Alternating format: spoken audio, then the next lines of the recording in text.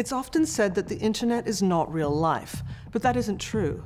Things said online are sent by real people and received by real people, sometimes with devastating consequences.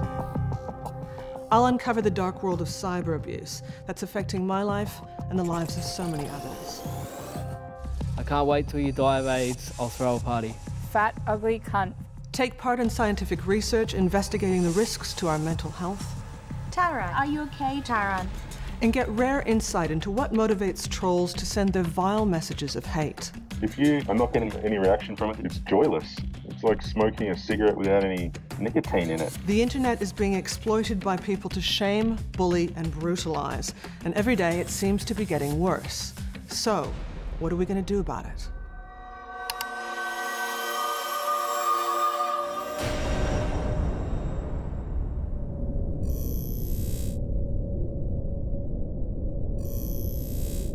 Now, you, have written from personal experience. Uh, this book uh, tells a story of you, of you being raped as a younger woman, of you being abused many times. Tell us why you've chosen to tell your own story as a kind of prism for telling the broader story. I couldn't, in all good faith, talk about the issues that are relevant for women today without mentioning sexual violence. And I couldn't mention sexual violence without putting my hand up and showing solidarity with other victims of crime you know, to say, I'm, I'm, I'm one of you. you. Will get past this. This too will pass. You are brave, you are strong, and you do not need to be silent. Wasn't all applause, of course. Along with heartfelt support, abuse flooded in as soon as I turned on my phone the next morning.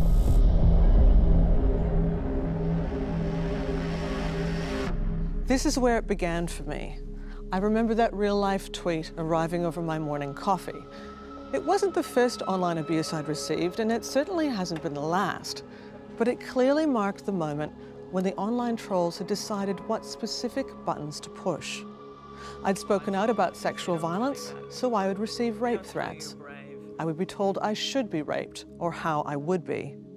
So the online trolls were taking what they had in their twisted toolkit to try to frighten, humiliate, and intimidate. And those little razor blades sat in amongst hundreds of heartfelt messages appearing without warning.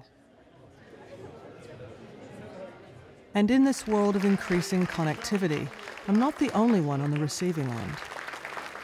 Do you have any advice, you know, to people who are coming onto Q&A uh, about being prepared for some of those public reactions? Look, we try to brief our panelists. Um, on that as a possibility. So we provide information to the panelists on how to use social media.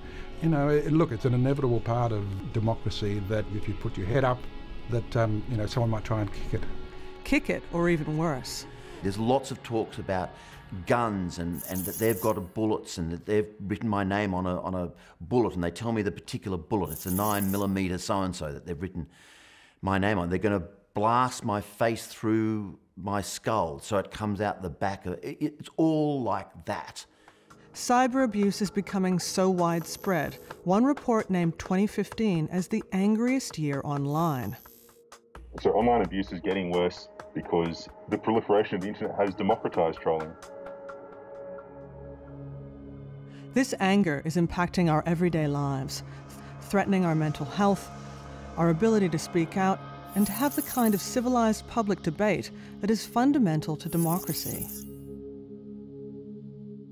There's a lot of evidence which shows that emotional abuse has a devastating impact on both mental and physical health and can cause depression, anxiety, sleep problems, and even suicide.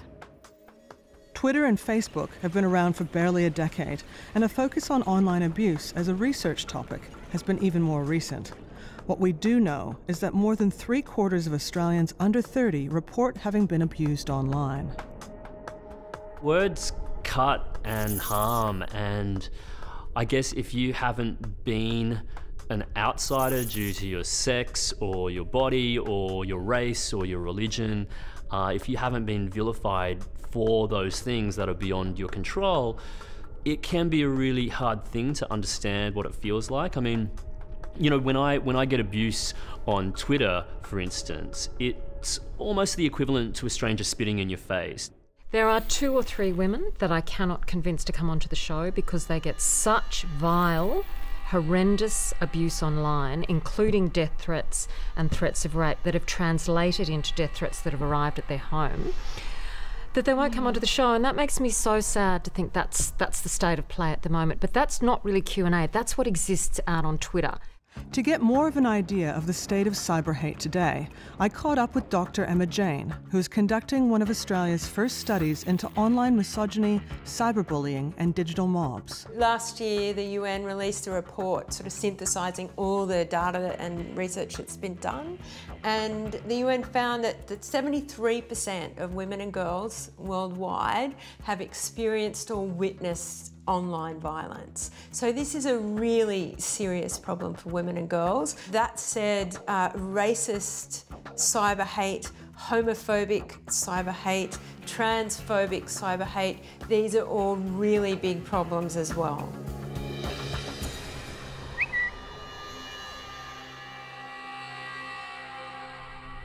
There are varying degrees of the types of messages that I get. Um, they range from you know threats of shooting me um, to you know kind of effing brown person go back to where you came from. Uh, and some i have to say i haven't even been able to share with my husband. They are just so vile that even repeating them does distress me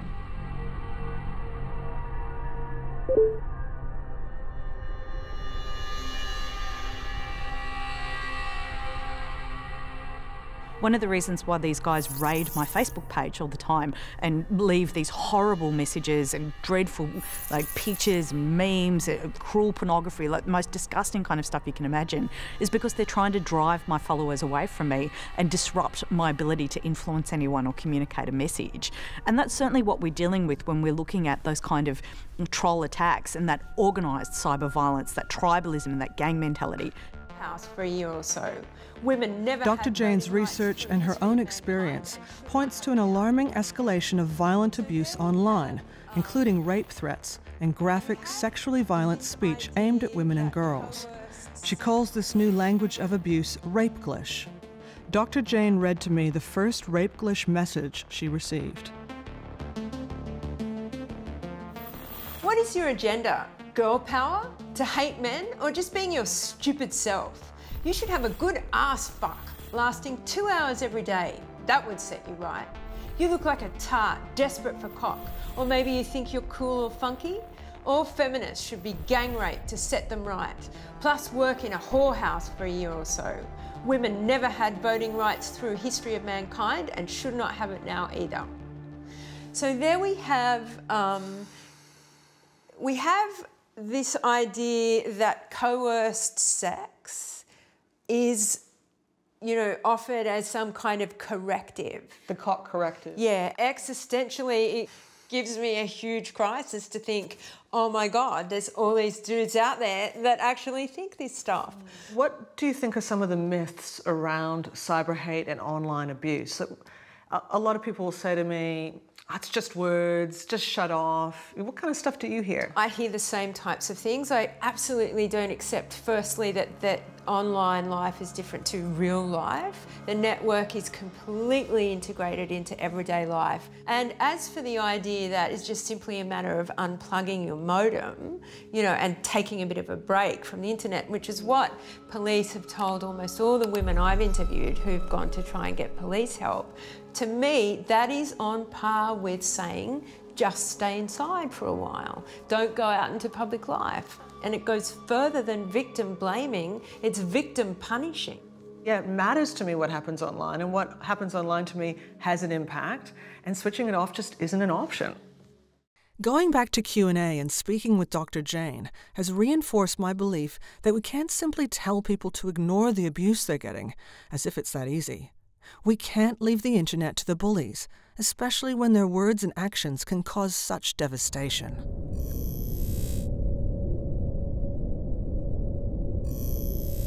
You! Start here! Hold! Speaking out and participating in democracy has always brought some criticism with it. After all, it's not real debate without disagreement. But has the internet created a space for more constructive debate or simply more abuse? Is it too easy to abuse others from behind a keyboard? We're here at Speaker's Corner, which was established in 1878. You could say it's a 138-year-old precursor to social media. But here it's face-to-face. There's no hiding behind keyboards. Repeal the laws of sexual harassment. I So want... that it's not a crime, so sexual harassment's not a crime. So it's women's fault all- if they get sexually harassed, it's the woman's fault. No, it's not the woman's fault. The idea that a woman can't stick up for herself, we're perpetuating, as we have for centuries, this idea that she needs protection. Sexual harassment laws aren't saying that women can't protect themselves. It says that there's a legal recourse when someone has committed a crime against you. It's just like with issues like sexual assault or abuse. You go, hey, it's not that the person can't stick up for themselves, it's that a perpetrator has committed a crime. All right, well, I'm changing my mind. right on. I wonder if Mark and I would have reached agreement so civilly on social media, where it seems the normal rules of debate don't apply. Part of the problem, as I see it, is there's still a perception that because we are online, sometimes anonymously, it's just words, and words on their own have no power. But is that really true? I was really good friends um, with Charlotte Dawson, who was one of the most gorgeous uh, women I've ever met.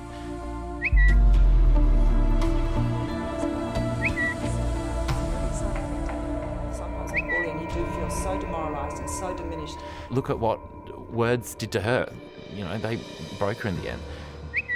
The Australian entertainment world is paying tribute to the television identity Charlotte Dawson, who's been found dead in her Sydney apartment. The 47 year old former model was hospitalised in 2012 after extreme abuse and bullying online. Charlotte Dawson's very public battle against her online abusers should stand as testimony to the dangers of cyber hate. Yet, despite the many cases in recent years where online abuse has been named as a significant factor in suicide and self harm, in everyone from children to high profile people like Charlotte, some people still doubt the potency of written words. Research shows us that emotional and physical pain activate similar brain regions. So I volunteered to take part in an experiment conducted at Neura, a world leader in brain and nervous system research. Dr. Sylvia Gustin has been using brain imaging techniques and psychological assessment to investigate chronic pain for the past 19 years. A lot of people think that words can't harm you. But this is actually not true. With this experiment today, we would like to show that words can have a huge impact on our brain. All right, so tell me what's going to happen. I would like to do a functional MRI experiment today with you. And I'm interested what is going on in your brain while you're exposed to threatening words and sentences. Hmm. So you will lie on this bed in the MRI machine and your head will be fixated in a special coil. And I will project violent words and sentences on this screen. You seem like such a nice person. it's an experiment. All right, well, let's see how it goes.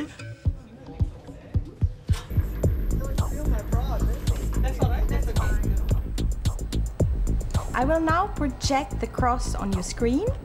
And please focus on the cross and try to make your mind blank. Everything okay? All good, thank you. So she's focusing her attention to the cross, and we see very little brain activations. So, Tara, now I will project the violent sentence onto your screen. Please focus on these words and observe your upcoming emotions and thoughts and think about what these words mean to you. The violent message put to screen was a tweet I'd received after speaking out on Q&A and showing solidarity with other survivors of sexual assault. I believe the personalized abuse struck a chord, even though I had received and read it before, and the words were therefore familiar.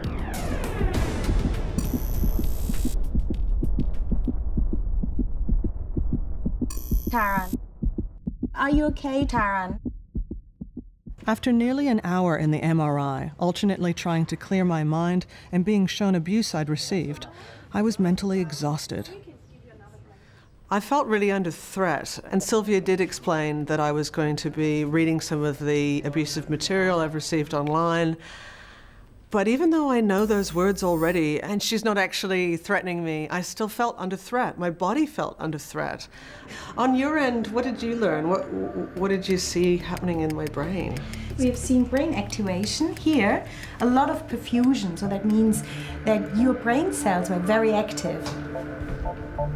When we suppress feelings and thoughts, they actually get stronger in our mind, they get stronger in our brain, they're more present. And this is the reason we have seen this increase in activity in your brain, in emotional brain processing areas, such as the anterior cingulate cortex, that's here. And then another area which we have seen was the insula. These areas are actually emotional brain processing areas. They are activated and you are in fear or you have emotional feelings. But the problem is that you can't stop these emotions because Mm. they are so strong. And Mm. therefore, you can see this overactivity is going on and going on and going on. So, trying to block our feelings and thoughts can make them even stronger. And what is even more alarming, Dr. Gustin's research shows that sustained emotional abuse can alter levels of stress hormones and even kill brain cells. And this can have devastating effects on brain function. Because it can change the structure, the function, and the biochemistry of our brain, resulting in mental health disorders such as depression and anxiety. So it is really important that we work with it, that we process it, and we don't deny it. My body was reacting like it was in pain, and that's, um, that's really something to absorb. There's no doubt that I was quite adrenalized, and certainly my heart rate apparently went through the roof. But I don't think I really realized the extent of that until someone like Sylvia was able to explain to me your body has just gone through an assault. That's, that's far out. So I experienced an attack of sorts. As far as my brain was concerned, those words had just as much impact as if I was experiencing an assault in a real world context. So, is this assault in the eyes of the law?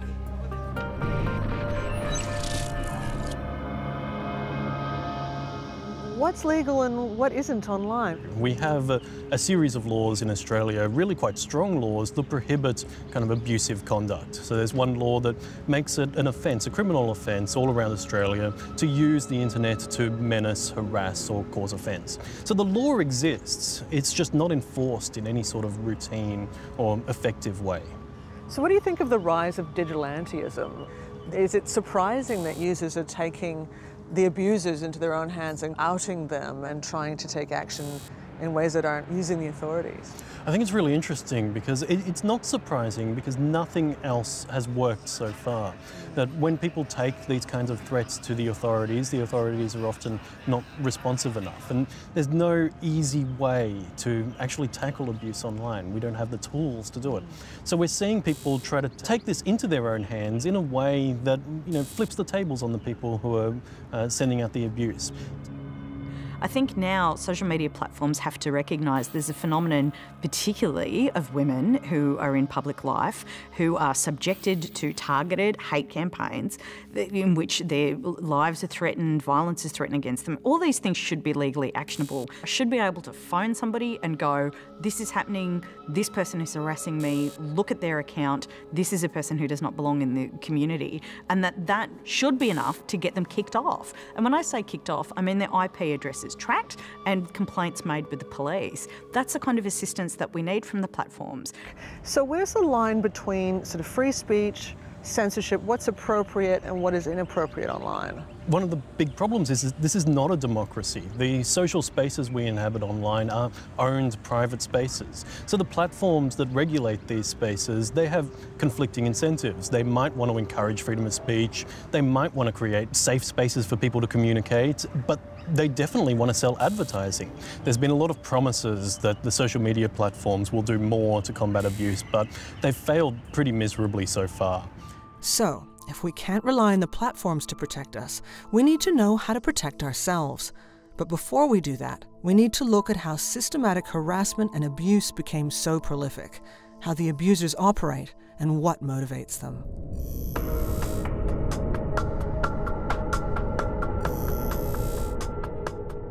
Personally, I hate the use of the word troll to describe people who abuse others online.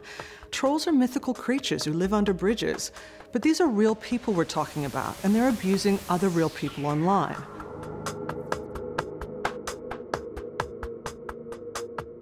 I think there's a difference between someone who's just plain annoying and irritating and an actual troll. A troll is someone who's going to go for you hard. They're going to get personal and it's ugly. They don't actually want to have a discussion or even a debate. They just really want to get you and it becomes really personal and pretty toxic. Anyone can abuse. For me, trolling requires a bit more thought. The problem solving aspect, you know, how can we get under this person's skin or this group's skin? Some of the most beautiful trolls are ones where it's so obvious that it's a trap and, and that someone is just taking the piss, but they buy in anyway. Those are the sweetest ones. For some more insights, I contacted Dr. Emma Jane, whose groundbreaking research into online misogyny was prompted by her own experiences receiving violent cyber hate while working as a journalist. What do we know about who the trolls actually are? What we do know is that back in the earlier days of the internet, there were groups of subcultural sort of trolls lurking around sites like 4chan. Now, these guys developed a fairly sexist and racist and homophobic style of humour that I think has caught on in the mainstream community. So those early trolls were also very big on the image macros that we see today. So the funny pictures with the funny words on the top. Yeah. That was their kind of humour. What about some of the things we're seeing now, like digital mobs? So those kinds of group activities that involved mean humour progressed mutated to what we have today where we can see a, a massive cyber mobs develop with extraordinary speed and, and they can attack with extraordinary viciousness so that the person on the other end of these attacks can be just totally overwhelmed by this tsunami of you know hate coming from literally all over the world. In the online world, it's called a pile-on. So what they would do is get all their trolling mates and pile on this person. And sometimes the results were really devastating. So, for example, one of the worst trolls that I came across, he told me that he and his trolling mates often tried to incite people to suicide and they would find particularly vulnerable people and set about doing that. Journalist Ginger Gorman is one of the few people to have spoken to trolls about their motivations. There's research suggesting that people engage in this kind of abusive online behavior are often sadistic and psychopathic, and it seems they actually agreed. So, the research out of the University of Manitoba and British Columbia in Canada suggests that trolling is very strongly correlated with the dark tetrad of personality traits. So, as you just said, psychopathy, Machiavellianism, narcissism, and sadism. But sadism is a very strong link almost all of them said definitely i'm a sadist the other amazing thing to me was the narcissistic factor so the trolls I spoke to really wanted to let me know how they hurt and humiliated other people, and they wanted to tell the world about that. And yeah, one of them even said, Yes, I'm a psychopath. So it's strange because, in a sense, they have a self reflection about that. They understand that. They're not deluded about what they're doing at all or what motivates them. Now, you interviewed a particularly vicious online abuser that we're going to call Mark. Someone found me on Facebook. So Mark started trolling Facebook memorial pages at the age of 14 and he loved the pain he could cause the family members of the person who had died. So for example, he might go onto the wall of a young girl who died by suicide and say that she couldn't handle the shame of being such an immense slut any longer. You get a feeling of enjoyment and power over causing their family members distress and pain and anger. That is vile. And then eventually other trolls found him. He joined an incredibly powerful trolling gang. He's very high up in that trolling gang and he gets a lot of power and a lot of satisfaction from that role. So, yeah, there were some points where I found it quite difficult. I wanted to press on though because I think if we know who trolls are and we know what they want, then that gives us a power. What makes you choose what you say in that online forum? Um, I'm, well, before I say anything, I'm going to like study the people involved, know what would offend them, and then I'm just going to choose the most offensive thing I can think of to that audience. And what's going through your head when you're doing that? What's going through my head? Oh, I'm just hoping to get a good reaction out of them, really. So that was a bit of an epiphany for you, wasn't it? It certainly was because when you yourself are being trolled, it hurts so much. It feels so personal. But what Mark has just told us is that it isn't about you. It could be anything. When they choose a victim, they research the victim and they look for the weakest point. So, in fact, it's like business for them. And once I knew that, I just knew that I could throw it off. The power's gone because he just laid out the game plan. So we know what he wants. And I don't give it to trolls anymore. I just don't respond at all. But as women, I think it's really important that we don't take this as being silenced. We keep talking, we keep doing whatever it is we were doing before. It's just that we don't react to the trolls. As we've just heard from Ginger, these kinds of online abusers are strategic. They want to find your weakest point and attack. Two people who have received a lot of strategic, very personal abuse are writer and activist Van Badham and comedian Joel Creasey. On the day of my father's funeral, and let's just contextualise this, my Mm. father was my best friend, uh, an online troll sent violent porn to my account with the caption, This is what your father thought of you. And it was the day of his funeral. And the viciousness of that comment was amazing. And it went on and on and on. And the troll kept continuing and was trying to sort of incite that with other people. And I remember looking at it just thinking, you know, Van, if you can survive this, you can survive anything. It cannot get worse than this.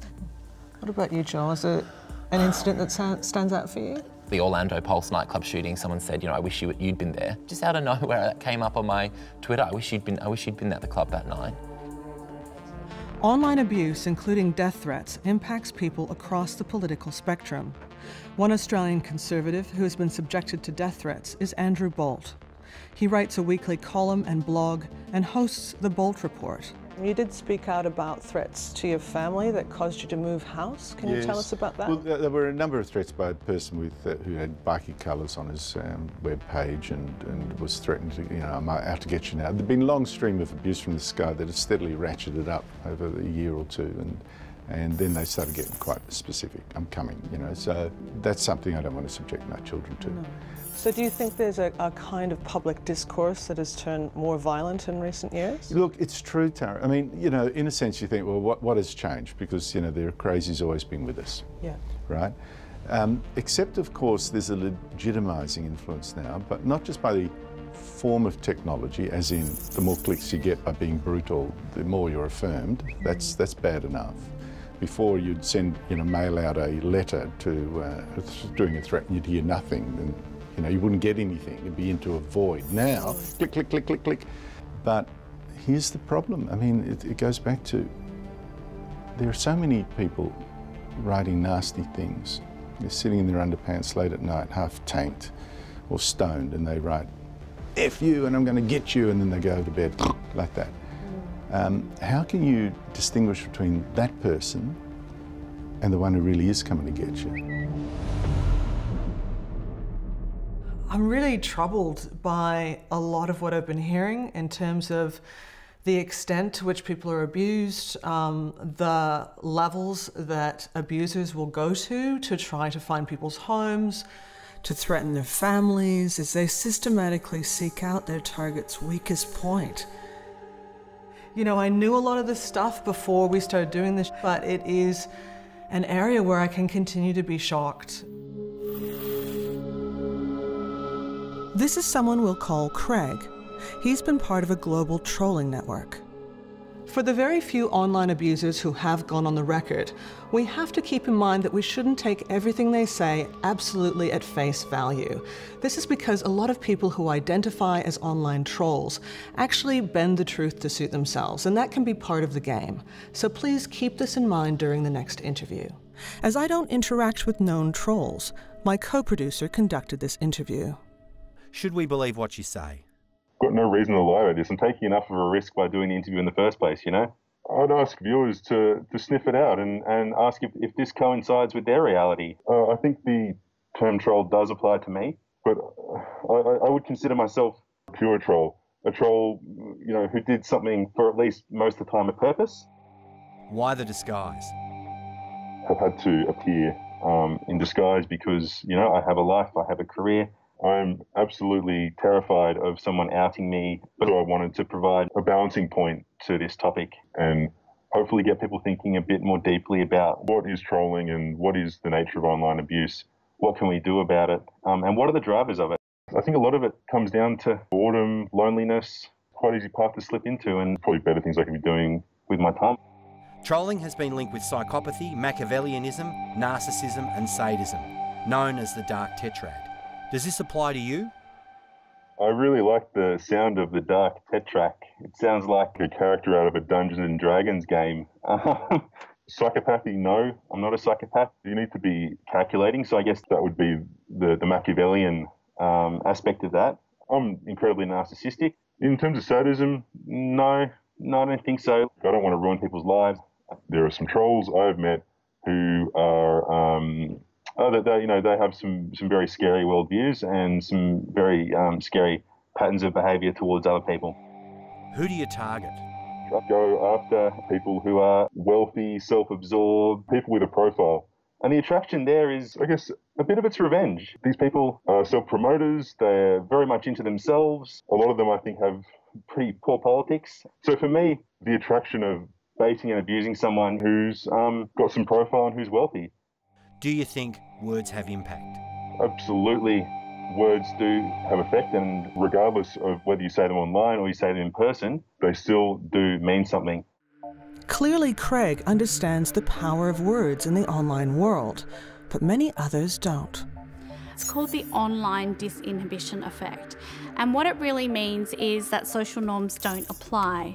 So, whereas somebody would never come up to me in real life and say, I'm going to rape you and cut out your uterus, or I'm going to kill your children, they somehow feel able to do this online. To demonstrate online disinhibition, we asked volunteers to read real tweets and comments received online by writer and activist Van Badham and comedian Joel Creasey. Hello, thank you for volunteering today. This is Joel Creasey. Hey, nice to Hello. meet you. This is Van Badham. Hello. Hi. You're going to be reading some material to him Yep. that he's received online. I don't want you to flip this over and have a look until we're ready to begin. Okay. Joel Creasey, you are gay. That's it. You're not funny, Joel Creasey. Fuck off already. Don't take this personal, but frankly, you're everything a woman should not be. Try being a lady and you'll find life more enjoyable. First of all, she's a feminist, so a giant fuck you. Hey, look, guys. It's that fat, ugly cunt from The Guardian. You're a cancer to progressive society. You have no integrity, and I can't blame the people who threaten you. That's, yeah, that's brutal stuff. Um,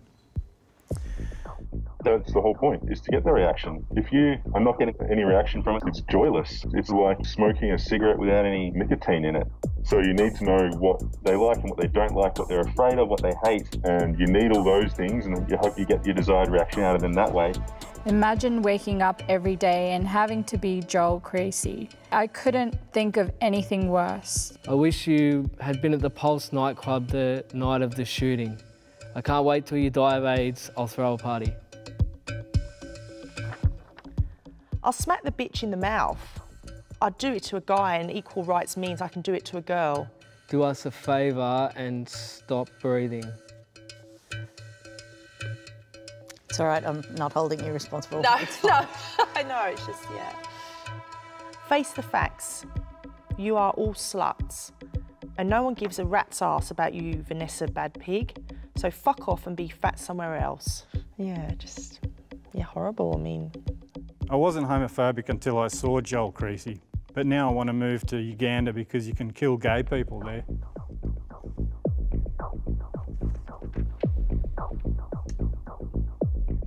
you know, it, it just proves that you know it was uncomfortable for them, and uh, so as if anyone would do that in person, that's how that's how weak these people that do it online are. I've said before today that I really worry that I'm getting so used to it that I won't pick up a threat.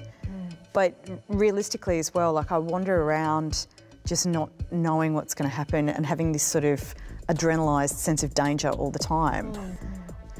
yeah, I could just feel the weight of those words. And I think every single person who left this studio had those words kind of draped on them. Uh, I felt quite bad actually making them say that stuff or have to hear it. So I think the argument that it's just words is really, it's pretty hard to back up. Words do have weight. Yeah, fuck, that's hectic. As we've just seen, online spaces seem to encourage a lack of inhibition without the sense of consequences that are normally present in face to face interactions. And when that disinhibition meets mob mentality, the potential harm can multiply exponentially. So I have been involved in some trolling groups. It's something that I'm not proud of because I just stood back and watched while they did these horrible things and the rampant racism that, you know, and anti-Semitism and sexism and, you know, I think just by being around them, we're enabling them. Mariam Veiszadeh has faced organized, systematic mob abuse. The majority of the cyberbullying actually started um, when a group called United Patriots Front. They were targeting me online and they'd taken something I'd said about uh, this Woolies t-shirt saga. Kind of you don't like Australia, go home or something That's right. similar? It was um, love it or leave on a t-shirt carrying a picture of the Australian flag and um, I added my voice to a chorus of voices that day that were in opposition to the idea that an iconic brand like Woolies um, would be seeking to endorse it. It was literally one tweet that was then mischievously cropped by the United Patriots Front in other hate pages at the time, and then it was posted on their Facebook page urging their 5,000 plus followers to start to start harassing me, and that's really when I noticed there was just a barrage of abuse. I guess it's the triple whammy for me, that the intersection between race, religion, and, and gender. The the nature of what I'm seeing not only is Islam- Islamophobic in nature, there's references to my ethnicity, so bringing race into it, but also misogynist undertones as well to some of the messages that I'm seeing. I've, yeah, I've seen pretty much everything, but I mean, the first time you see it, it's just, it's quite shocking and has an impact. Do you think they're working in concert together, a lot of these abusers, to try to, you know, try to push your buttons, to try to go further, to try to, to what, ultimately silence you? That is actually their stated objective. There's been sophisticated hacking websites that have weighed into the, the discussion, you know, people that are completely anonymous and untraceable, talking about willing to pay to locate my address. I've had my work details published online, I've had my phone number, I've received abusive SMSs, abusive phone calls. I've had uh, bacon mailed to an old residential address, which was just bizarre. And I think the thing is, I've come to a point where I can't, I can't underestimate um, the threat because often when I've ignored it or assumed that it was just internet chatter, they've actually gone ahead and, and, and done what they said they were going to do. It's uncomfortable to step into the mindset of someone out to intentionally harm others. But whether or not we can believe everything said at absolute face value, I do believe we've gained some genuine insights. There seems to be an array of motivations for this behavior. For some, it's boredom and revenge, misogyny, racism, and homophobia. And there are those who believe that what they do is not only free speech, it's an essential part of liberty.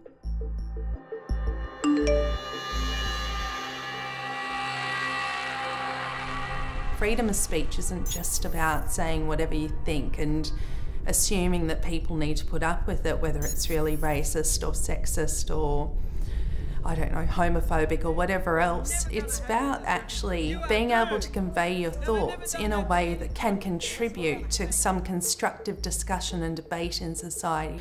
I'm one of those people who don't care about freedom of speech. I think it's a crock of shit. Freedom of speech is a right that allows wealthy people to say what they want because what they always have in return is defamation. But what freedom of speech allows, I guess, is for um, people to say what is the unsayable.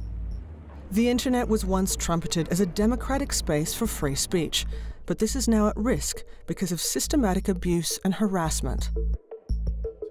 Andrew Bolt has become a lightning rod for the discussion of freedom of speech in Australia.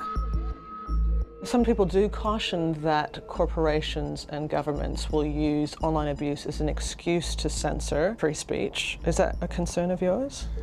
Well, uh, any kind of censorship is, is, is a concern of mine. And don't forget, the rules of censorship, both in terms of law and how it's then applied by judges, is essentially uh, decisions of the powerful uh, applying to the not powerful, the voiceless quite often.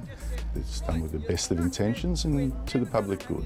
But sometimes the confusion is that what a certain social group, powerful social group, deems acceptable or unacceptable speech is not what the mass may uh, think, or those that don't have, aren't members of the club. And we need to be very careful about that. While there were things we agreed on, in truth, Andrew and I did not have the easiest interview. I mean, a lot of people would describe your blogs as being controversial. Would you agree with that? I consider your views controversial. Do you? but I'm fascinated that I'm controversial. I kind of No, no, like your that. views. And I did mention what is sometimes known ah. as the Bolt Army supporters and readers of Andrew Bolt who harass people online who are mentioned in his blogs and columns. With the Bolt Army and this, and I was But I'm wondering what you would then say to readers who engage in that sort of behaviour, because it's certainly not only it, your I don't readers. encourage it, I don't uh, set it off, and I don't endorse it. If there are people that read something, they react to it, and they and they uh, so they're critical, that's perfectly fine. And I get heaps of it. I get worse. I'd say I get worse than any one of the critics get. But uh, abuse is different. Debate is important for democracy, but no matter what end of the political spectrum you're on, the line must be drawn at malicious abuse and the intention to harm, and most importantly, threats of violence. But in the meantime, how do we protect ourselves from abuse and predators like Craig? Don't be lazy with your social media habits. So, have a separate password for every single social media account. That way, means that if you get into one, you can't just go into every single other and basically steal someone's online identity. And in terms of protecting yourself from just the general abuse, my advice is don't feed the trolls. Don't get into arguments with them because that's what they crave. And if people start making threats, you need to go to the police and at least have it reported. While I'm a writer by trade, I'm also a human rights advocate and an anti cyberbullying campaigner. And as this issue of online abuse has worsened, impacting more everyday people, I've written books and articles on the subject and also spoken at numerous schools so that more people can know their rights and their options when they're faced with this kind of abuse, whether it's from complete strangers or someone they know. So, from my research and my experience, these are my top tips for managing internet safety. Report abusive and threatening content to the social media service and consider reporting it to the police. The more we report serious online abuse, the more likely we are to create a safer environment for everyone. I think it's only by standing up against um, trolls and uh, exposing what they say that we can change societal attitudes and mindsets. Collect evidence. Only you can decide whether to report abuse online, but if you do, you're going to want screenshots, and you're probably going to also want URLs showing where the abuse is happening and when. It is important to take um, the, the threats seriously. When there are uh, believable threats made against you, it's important for law enforcement agencies to take a role in protecting you from potential physical abuse in these cases. Think twice about engaging online or posting a particular item, whether that's because it's about yourself or someone else. It might impact their privacy or your own. It's going to stay there, so you need to be able to stand behind it and also realise that um, others aren't always going to be kind about what you share online. Use the block and mute buttons. In the physical world, a person wouldn't be expected to stand and take abuse from a stranger on the street. You don't have to take abuse from strangers online either. They are looking for your weakest point. So once you know that, you know that giving them a response is what they want. So be silent to the trolls. But this doesn't mean be silenced. Good digital hygiene, as it's sometimes called, can also help. This means balancing screen time with real world interactions and activities. Many people who are prominent online take days off, usually the weekends, where they don't log on and they don't check social media. And when I use social media, personally, I make sure that I use it in common spaces of the house, not private spaces, my bedroom or bath or areas like that. One of the reasons is because violent threats online usually come completely without warning. And you need that psychological buffer, that, that sort of division between your private world and your public space. We also need to support those who have the courage to call out online abuse.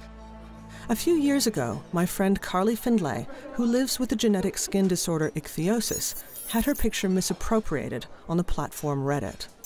So I woke up one day to a lot of hits on my blog and I wondered why there were so many hits. And I looked at my stats and all this traffic came from Reddit and I thought, oh God, because the Reddit forums are notorious for mocking and ridiculing people with differences, with disabilities, facial differences, medical conditions. And my photo was used on the What the Fuck forum and there were about at that stage there were about 200 comments and some of them were um, what does her vagina look like? Um, she looks like something my dog chewed up um, that i'm a lobster. I mean that was a mild one um, and that i should be killed with fire horrible. Yeah. One of your comments on the Reddit thread I thought was really powerful. I'll just read it quickly. Mm -hmm. I knew the day would come that someone would create a Reddit thread about me using my photo, having a laugh at my appearance. Mm. For years, that fear was why I didn't share photos of me online. Yep. But now, after gaining confidence and support through years of blogging, I couldn't care whether they call me a lobster or silly putty. It's, um, I think you turned that thread around beautifully and really managed to educate a lot of people. Would yeah. you agree with that? Yeah, absolutely. You know, a lot of them said, I came here to laugh, but now I'm educated. And I think it really demonstrates the power of using your own voice. so where do we go from here? Like, how do we make online spaces more positive? You know, we can't stop, we can't back down and we can't shut up because of these people. You know, um, I'm not going to stop writing about disability, ableism and um, you know, appearance diversity issues because they're always out there. I'm not going to hide my face for fear that I'm going to be shown on Reddit. We got to do it together. Yeah. It would be a real shame if people like Carly were bullied out of public discourse by abuse. We need more voices like Carly's, not less. We can't let the online abusers silence the already marginalized and the different. And what about the next generation? What can we do to make online spaces safer for them?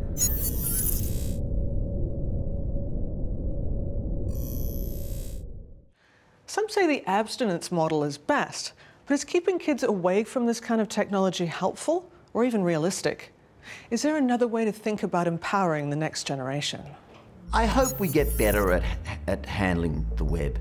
It is new technology. It's a little bit like the, the motor car. When the motor car was first really popularised in the 1950s, we allowed it to dominate our cities. We, we dug up cities. We put expressways through LA and Sydney and London. Whatever the car wanted to do, the car got to do. We were so in love with it.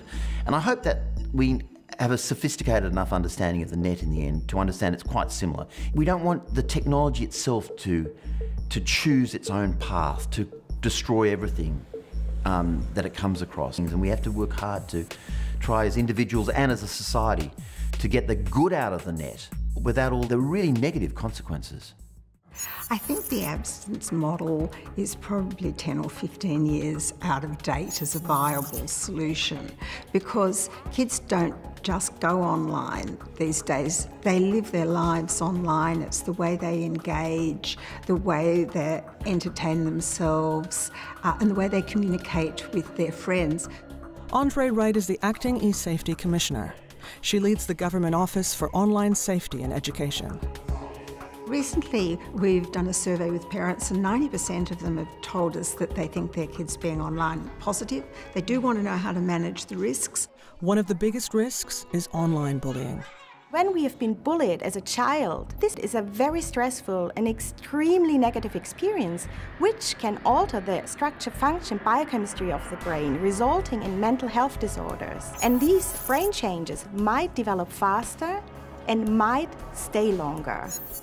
There was research done by the government in 2014 which showed uh, roughly 20% of children between about 8 and 17 are cyberbullied in any 12 month period. And this was an Australian first, to, or a world first, to decide that there needed to be somewhere that they could go. There would be a point of contact who could work with social media companies to have quick remedies uh, to get uh, the bullying images removed. In addition to all the cyber safety education that's happening at schools, we need to introduce the ethics of online engagement. So it's not just about risk and safety, it's also about ethics and civility. It's the oldest idea in the world, empathy, but it seems to have been trodden totally underfoot. Imagine how it feels to receive these messages, whether you're somebody on the media or whether you're a fellow 14 year old kid at school. I feel like the people that are, you know, in charge of the discussions are of an older generation who don't understand, you know, who ask where the space bar is. But I guess hopefully my generation can sort it out because that's our strength, the online world.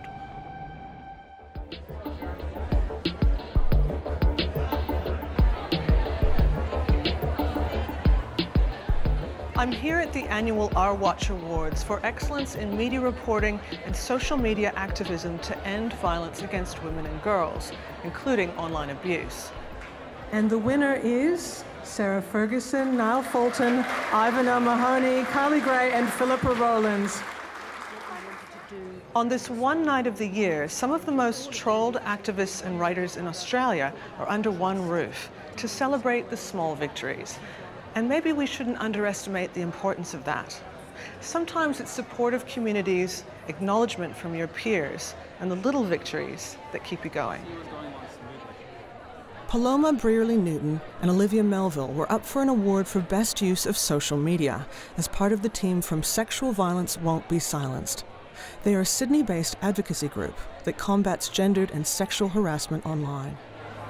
The work that we do um, is like centered a lot around education and um, sort of allowing people to understand what their rights are online and um, what you can and can't do. But recently, we had this guy that used to post on every single post that we did on Facebook, basically saying how we were the worst people in the entire world and we were trying to make take away freedom of speech.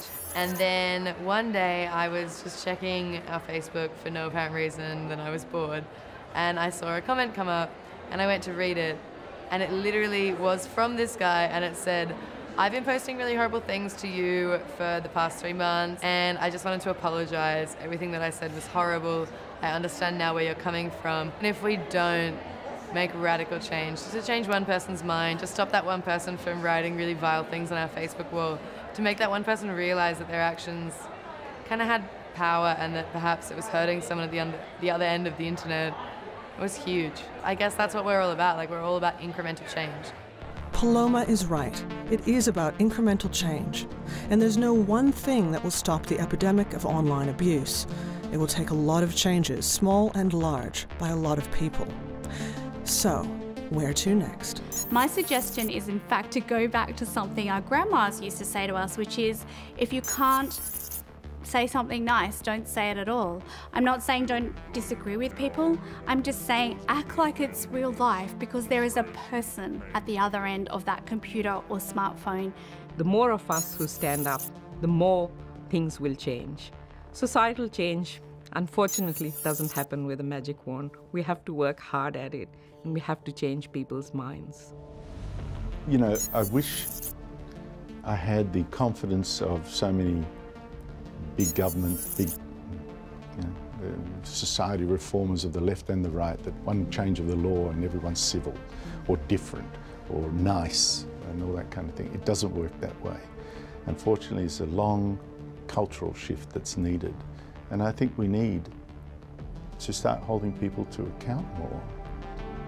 If I could magically affect one change in the online world, it would be accountability. Use your real name and your real face.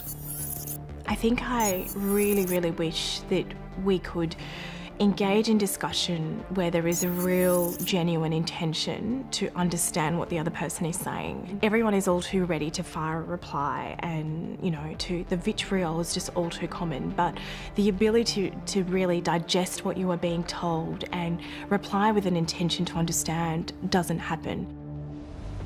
We've spoken to a lot of experts and high profile people about cyber hate. But what are your thoughts? I took to Facebook to get your views. Have you experienced online abuse? How do you think we can make online spaces better and safer? The response was heartfelt and courageous. I received cyber hate for two years. After the stillbirth of my second child, you don't deserve a healthy A baby. A friend of a friend decided to tell me I deserve to be raped. One common theme was that of solidarity and determination in the face of abuse. Many shared their stories of refusing to stay silent about abuse. I meet all abuse with naming their behaviour. I pretty much always report and block them. People are always looking for other people they can take out their own insecurities on. I'm sorry you experienced this too, and so glad you block and report. As we've seen throughout the series, the trolls and abusers use a myriad of excuses, and a lack of consequences has only emboldened them. We need to bring online abuse into the open, like we have with other forms of abuse and violence. Thank you for your efforts. Online abuse is a huge topic. This is something that impacts people of all genders and all backgrounds. I've certainly learned a lot on this journey, and I think that more than ever, it's really difficult to argue that what happens online doesn't have real world consequences. It's clear that it does. I still strongly believe that the positives of being online outweigh the negatives. There's no one silver bullet here. There's no one single thing that's going to fix these issues. But surely acknowledging that this is real is a start. There should be and are consequences for online actions. And when we accept that, I think we can move towards online spaces that are more civil and more democratic.